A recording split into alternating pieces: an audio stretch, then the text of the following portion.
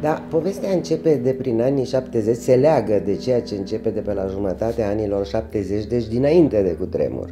Practic, ceea ce se numea investiții social-culturale dispar. Existau locuri în care trebuia să se construiască ceva, altceva decât locuințe. Și atunci înflorește ideea acestor complexe agroalimentare. Și în aceste mega edificii despre care vorbim și cărora uh, bucureștenii le-au dat foarte haiosul nume de circ al famei, deoarece erau aproape toate anturate de o, sau surmontate de o cupolă. Ele erau o caricatură de, de moluri, moluri pentru perioada aceea unde nu mai exista de fapt marfă. Și eram, mi-aduc aminte, vizitam, eram student și vizitam practic se deschisese primul dintre ele, care a fost hala de la Unirea, se numea Hale Agroalimentare. Uh, hala de la Unire e o excepțională, o splendidă cupolă tehnologică, era extrem de interesant proiectul. Și de sub erau niște legume ofilite, un post de aprozar din asta. Adică uh, contrastul dintre ce voiau să fie și ce erau în realitate era absolut caragios și a rămas până când au devenit majoritatea dintre ei, chiar asta au devenit moluri.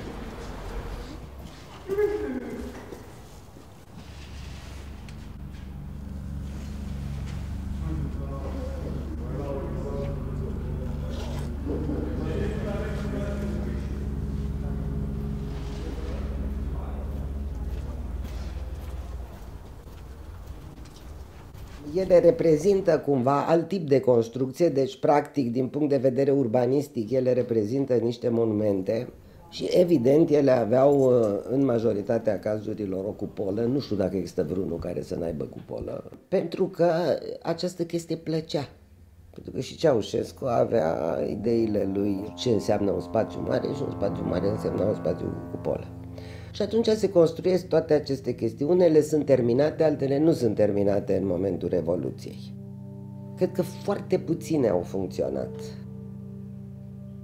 După Revoluție le-au rămas o vreme ruine, după care Evident că piața, comerțul a început să înflorească și la un moment dat, nu știu cine a avut ideea aici, știu că era o firmă turcească, parcă, dar nu sunt sigură, un investitor turc. Primul uh, circ al foamei care s-a transformat în alt tip de spațiu comercial al noului tip de piață a fost cel de la Vitan.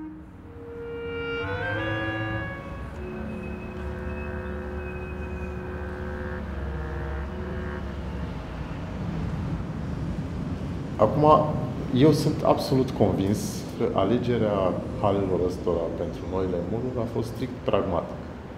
Pentru că ele aveau, erau niște cutii și cu aceste cupole și o structură care fusese abandonată, dar care încă era în stare destul de bună.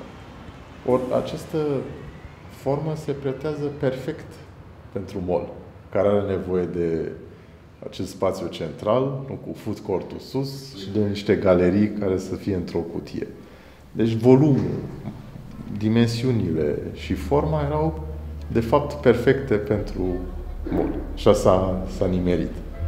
Și atunci s-a întâmplat că ei au venit, a fost această firmă care este turcească, din câte mi aduc eu aminte, și a văzut aceste uh, ruine și a zis, de ce să facem niște case noi, în loc să le folosim uh, paste? Erau ale statului, deci probabil că s-au privatizat foarte ușor, cum se întâmpla pe vremea aia, și și l-au luat. Deci nu a existat niciun fel de intenție politică sau un discurs uh, de acest fel. Dar sigur că ironia este imediată, pentru că e niște e totuși foarte amuzant că e niște structuri totalitare și le transform în clădirea simbol a consumismului și a, și a, a economiei de piață. Ceea ce sigur că nu poate decât să te dea. Asta cred că e și motivul pentru care faceți voi uh, filmul de fapt. Nu, nu e paradoxal, pentru că există o legătură foarte stranie între capitalism și spoiala de socialism care a existat în România, și anume Uh, acest caracter extrovertit, dacă mergeți în mall, mall, mall este în primul rând despre, e o poveste despre sine însuși, despre consumism, despre plăcerea de și așa mai departe. E, dovadă că au, le-au găsit pe astea ca fiind propice aceste structuri care, nu e așa, ai zice, sunt, erau moștenirea regimului trecut. Din potrivă.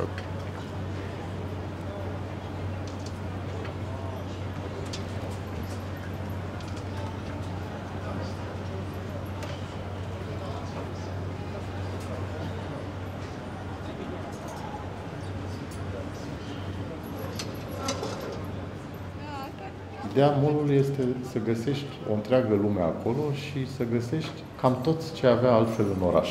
Asta este și problema majoră pe care o avem noi arhitecții și urbaniștii și nu doar noi cu el, pentru că el este un fel de surogat de oraș.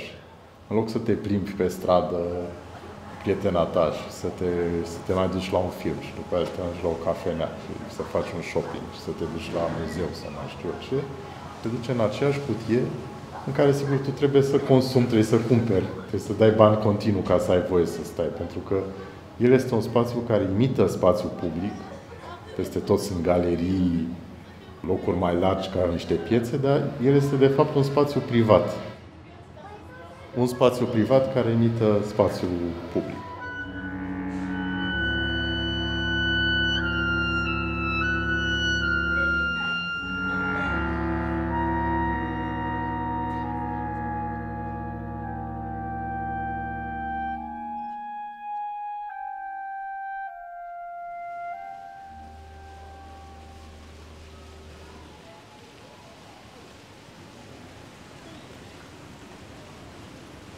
La noi a fost exact aceeași situație. Când a apărut molul, oricum la sfârșitul anilor 90, era de fapt foarte așteptat. Era așteptat și ca un semn al occidentalizării. Pentru că ăsta era termenul total, mergi către vest. Și către vest însemna pentru majoritatea lumii și politic, democrație și așa mai departe, dar și societatea de consum.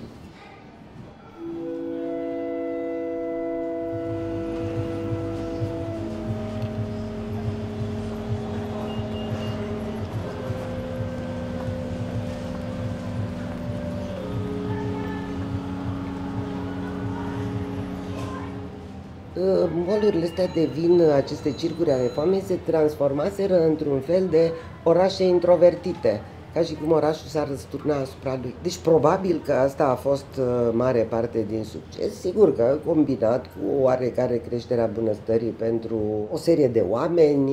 Dar este foarte semnificativ că, de fapt, orașul, ca loc în care te etalezi și în care încerci să atragi lumea, nu mai e important, și te duci direct acolo. Deci, de fapt, orașul e la mol.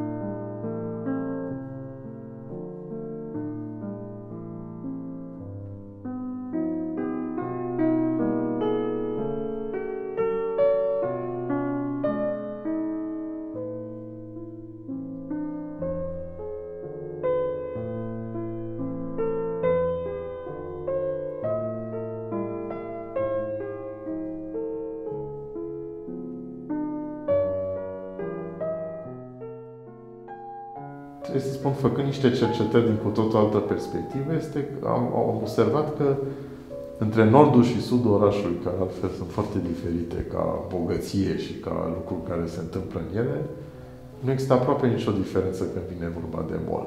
Deci molul merge și se împrăștie în zonele ora, bogate, sărace, cam la fel. El arată altfel, poate să alte magazine în el, dar de fapt el e foarte omogen răspândit. Pe mine interesează sutele de mii de oameni care pot să fie clienți și atâta tot. Cu repede și urăsc Molurile, mi se pare că, până la urmă, ce s-a întâmplat la circurile foame e poate cel mai uman lucru. Și mai trebuie să zic că trebuie să ajungi la mol, mai ales când ai copii, e foarte greu să vezi filme în altă parte. Cum spuneam, e foarte greu să mai faci, să-ți cumperi o cămașă în altă parte, deci la mol tot trebuie să ajungi. Și trebuie să recunosc că, deși au apărut între timp, tocmai pentru că au apărut molurile astea noi, care nu mai au de nimic de a face cu, și care sunt enorme, ă, astea din circurile fan au ajuns să fie cele mai mici. Și cumva parcă sunt așa, când însăși semi-decadența lor, așa mai simpatice și mai, mai prizabile și recunosc că dacă trebuie să mă duc la un film și nu pot să mă duc în altă parte decât la mall, mă duc la astea și nu la molurile de nouă generație, care sunt și mai demente în modul lor de a imita un oraș și în care chiar te, te pierzi și nu mai știi la un moment dat unde, unde ești. Da, iarăși asta depinde de o politică municipală, pentru că nu vine oricine să construiască oricum, Trebuie orașul să gândească cumva lucrurile și să gândească pe termen lung. Ceea ce evident că orașul nostru nu gândește și în general edilii noștri gândesc numai pe termen scurt, ca și politicienii de altfel. Ceea ce e o tragedie pentru, pentru modul în care funcționează orașul. Pe termen mediu. Pe termen lung suntem toți morți, deci nu are nicio importanță.